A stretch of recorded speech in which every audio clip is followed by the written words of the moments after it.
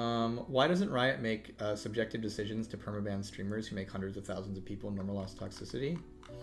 Um, I think one of the things is that we uh, moderate what happens in game, right?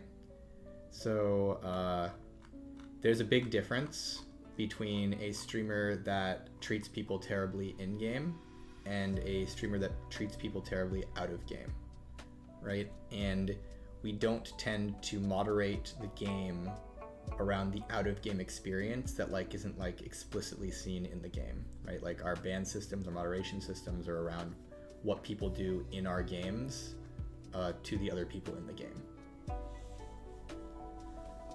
Um, and so if there's someone being super nasty on like a streaming platform to me that would be more of a question of like twitch than it would be about um, what happens in the game unless that person's nastiness then transitions to in-game right? And then that's like a very different question. Right